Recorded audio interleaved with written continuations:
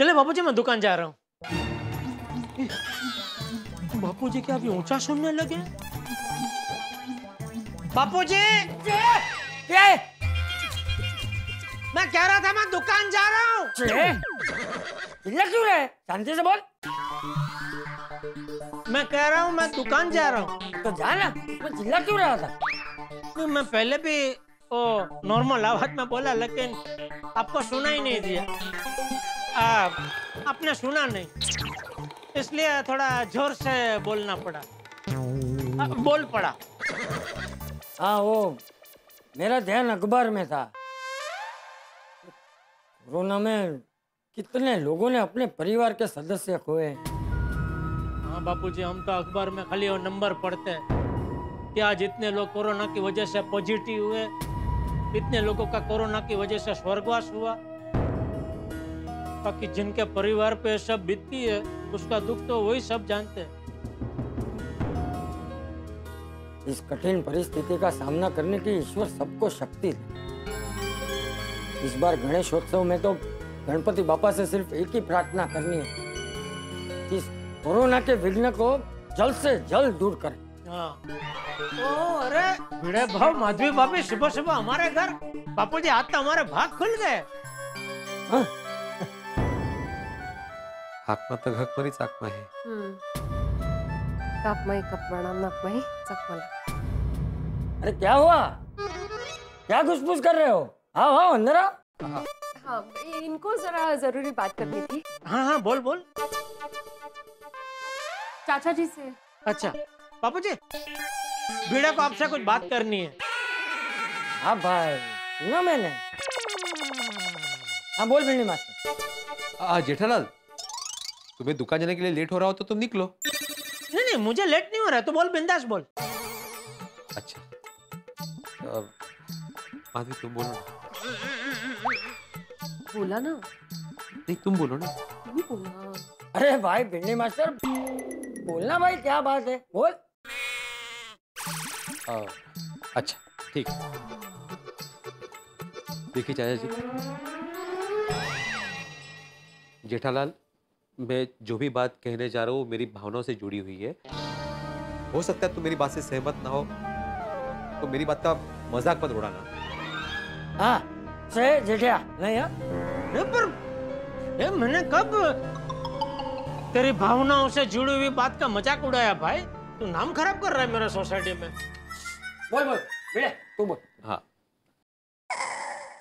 चाचा जी अभी सोसाइटी में गणपति बापा आने वाले हैं।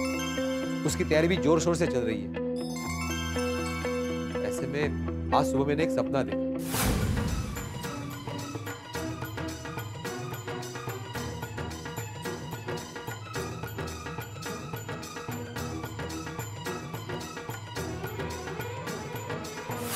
तो गजब का सपना है। हाँ इसीलिए हमें समझ में नहीं आ रहा है कि अभी हम करें क्या? हाँ। सपने को सच मानकर अगर हम लोग बापा को लेने नहीं जाएँगे ये सोचकर कि बापा खुद ब खुद यहाँ पे आ जाएँगे और अगर वो नहीं आए तो? और सपने को सच नहीं मानते हैं और पापा को लेने जाते हैं तो ये तो पापा की आज्ञा का अपमान हो सकता है ना? तो सच में बहुत बड़ी दुविधा है। मतलब प्रैक्टिकल अगर सोचे तो सपना तो सपना ही होता है। उसको सच कैसे मान सकते हैं? तो मेरे हिसाब से तो गणपति बापा को लेने जाना चाहिए। नहीं नहीं क्या ऐसी बात नहीं है। हो सकता है कि गणपति बापा सपने के द्वारा भीड़े से कुछ कहना चाहते हो। मतलब? मतलब माधवी बेटा भीड़े की बात चमत्कारी है। और कभी कभी चमत्कार होते भी हैं। कई बार ऐसी घटनाएँ भी होती है कि जिसे देखकर हमारा दिमाग चक्कर खा जाता है कि ये हुआ कैसे? जैसे? जैसे मैंने अभी बीच में कहीं पढ़ा था कि पूरी चार माले की बिल्डिंग गिर गई। लेकिन फिर भी दो साल का एक बच्चा बच गया। और कहीं पढ़ा था कि तूफ़ान में एक जहाज़ फंस गया। पूरा जहाज़ डूब गया लेकिन फिर भी सारे मुसाफिर बच गए बोलो। हाँ मैंने भी ऐसा एक वीडियो देखा है जहाँ शेर बकरी के बच्चे को मारता नहीं है उसका ख्याल रखता है। हाँ नहीं ये सब तो चमत्कार ही है। हाँ तो और इस चमत्कार के पीछे कोई तो शक्ति है ना? जिसकी वजह से ये चमत्कार होते हैं। तो अब क्या करें चाचा जी? पापा को लेने जाए या उनके स्वयं आने का इंतज़ार करें?